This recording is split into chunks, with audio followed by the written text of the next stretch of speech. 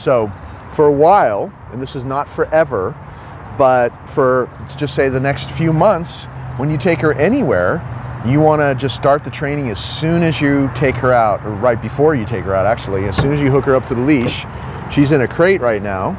We're letting her know from the very moment that you open the door in these environments that she's going to be on the clock.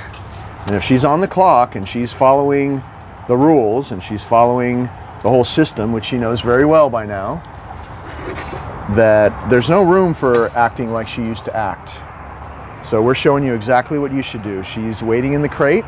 Now, if you can't put a crate in your car, then you have her wait at the door. It's the same thing. This crate door is open. She could jump out if she wanted.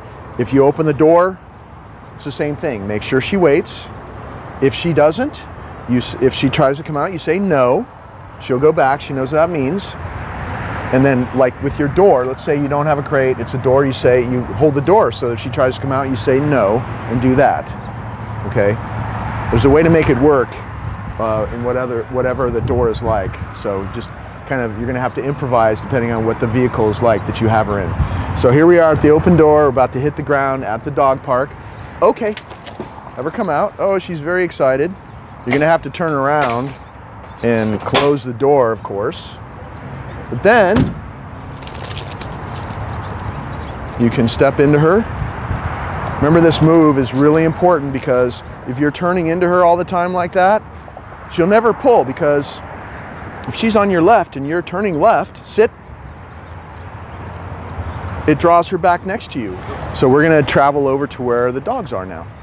Okay.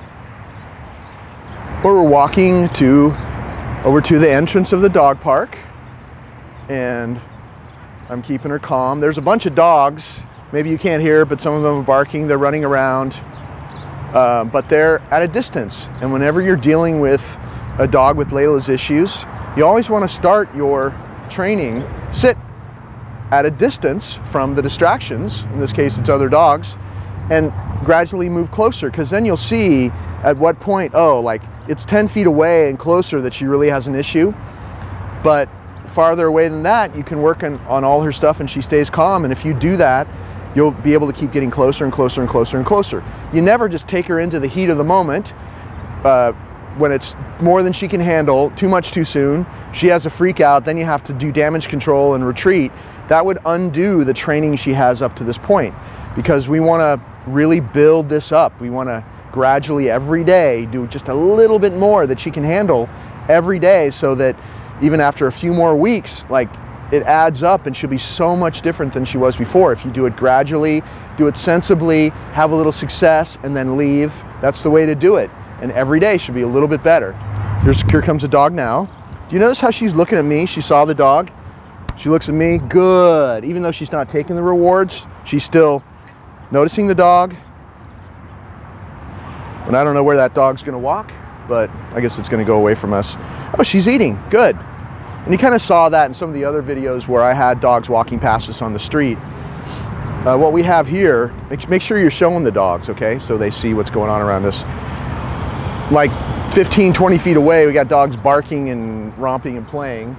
She's obviously nervous, but she's still able to keep, a, keep it together enough to stay in a downstay. Good, and she's eating. So at this point, she's able to actually eat rewards when she's in a downstay in this environment. That's what we want because that food will even make her more calm in the moment now. And she's getting rewarded for working too. That's another way to put it. This is her job in in the uh, in the presence of distractions. When I say sit her down, she stays there and she gets paid for that no matter what's going on around her. That's that's what we've taught her. And now we're just gradually making those distractions harder and harder and harder and harder. So that pretty soon she'll be able to handle a lot if this continues. So, oh, there's a dog there. Good girl, I missed it. Good. She gets rewards. So I could tell that she got overstimulated, but she was able to stay in a downstay. So you want to definitely practice like this at the dog park because it's your training right now. She's going to have a whole life ahead of her. She's a very young dog. She's got a whole life ahead of her of going to the dog park and playing with other dogs. This is a very critical time. You want to build on all this new behavior that I set in place. It's still fresh.